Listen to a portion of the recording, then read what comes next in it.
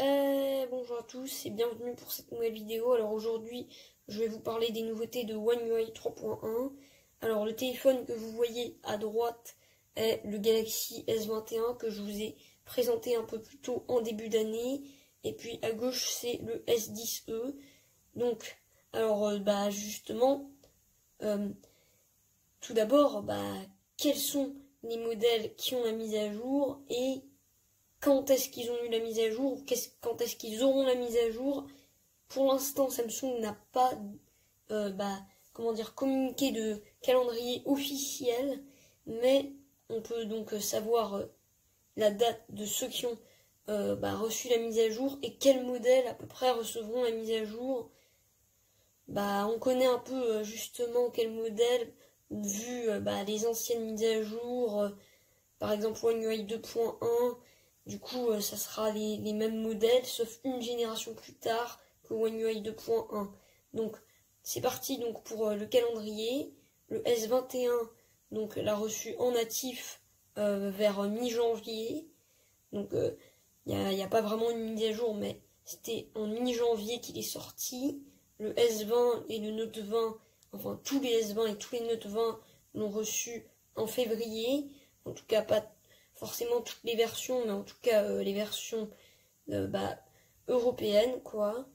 Après, euh, le S10 et le Note 10 ont reçu, donc pour le Note 10 fin février, début mars, pour le S10 début mars, voire certains n'ont pas reçu, donc ça sera sûrement pour mi-mars.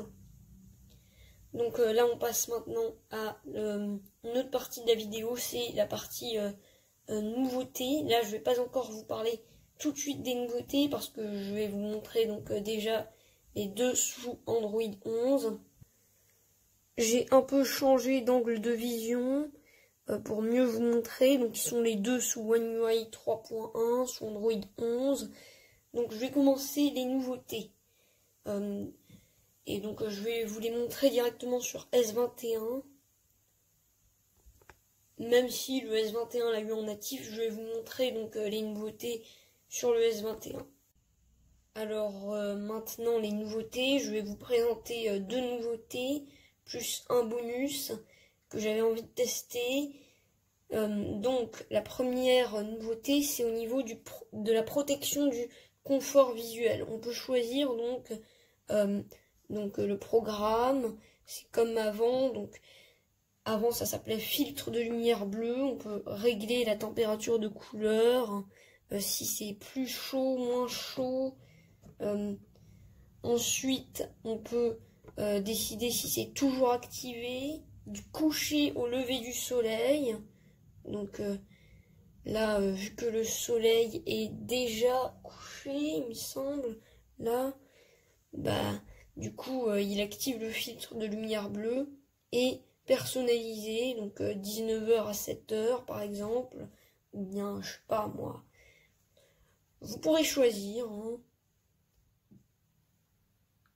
Ensuite, il y a le mode adaptatif euh, qui est assez bien parce que justement, ça règle euh, bah, le niveau de filtrage en gros et ça règle en fonction de l'heure de la journée. Par exemple, euh, bah, le soir, il y aura un peu plus de filtrage, tandis que bah, en pleine journée, il n'y aura pas de filtrage. Ensuite, euh, une autre nouveauté que j'avais envie de vous présenter, c'est au niveau de l'appareil photo et plutôt de la galerie, c'est euh, euh, la désactivation des tags de localisation.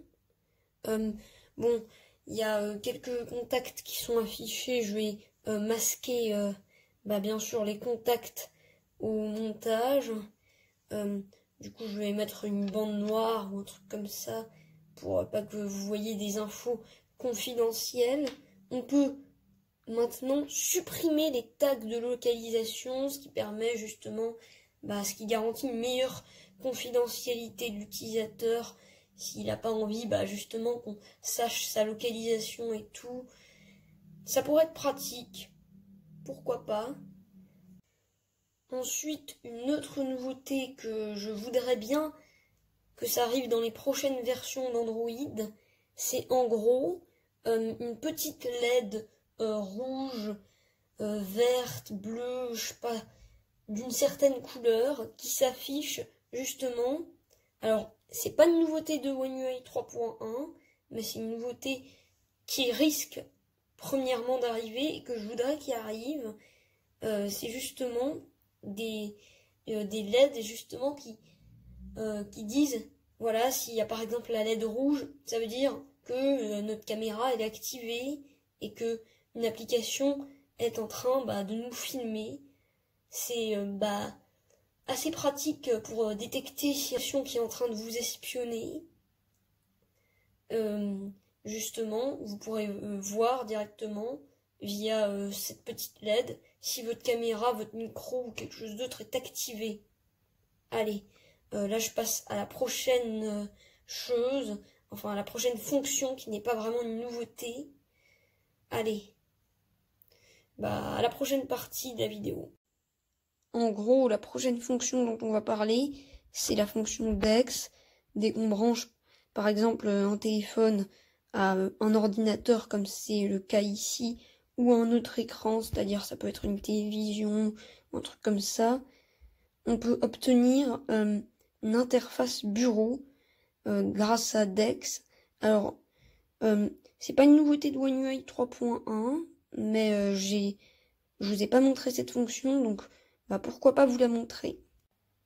Donc, comme vous voyez, le Galaxy S10e est branché à mon ordinateur, donc qui est juste à côté.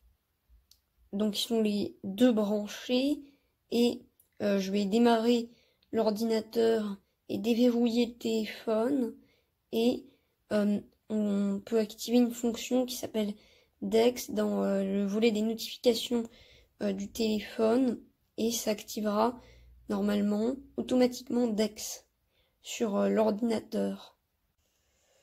Donc là, je vais démarrer mon PC. Donc c'est un Lenovo IdeaPad 320 et je vais vous présenter Samsung Dex. Donc on peut connecter un téléphone à un PC pour utiliser Samsung Dex. Donc comme vous voyez, on est euh, le 7 mars 2021 et il est 11h53 à l'heure où je fais cette vidéo. Donc le téléphone est connecté. Euh, est-ce qu'il va démarrer Dex? Ça prend un peu de temps, ça charge. Donc euh, voilà, Dex a démarré. Donc euh, Dex, ça pourrait être intéressant, par exemple, si on veut utiliser des applications Samsung sur bah, un ordinateur. Par exemple, je sais pas, moi, je vais voir les fichiers de S10e. Donc là, on peut voir les fichiers directement sur l'ordinateur. Alors ça peut être intéressant, par exemple, dans le cas où une tablette Samsung on met un clavier, justement, on peut taper sur un clavier. Et d'ailleurs, c'est déjà intégré sur les tablettes Samsung. On, tape un peu de texte et justement, on peut, euh, dès qu'on met un clavier, ça active automatiquement Dex. Et puis, on peut également connecter un téléphone vers euh, une télé. Je vais faire euh, justement ma petite recherche Google pour juste vous montrer. Donc, comme vous le voyez, Google se lance euh, dans une fenêtre, donc dans une interface bureau, on peut le mettre en plein écran. C'est assez similaire à Windows. Et on peut chercher par exemple les nouveaux iPad 320 et tout. Bon, allez, j'espère que vous avez aimé cette vidéo. Au revoir et à la prochaine.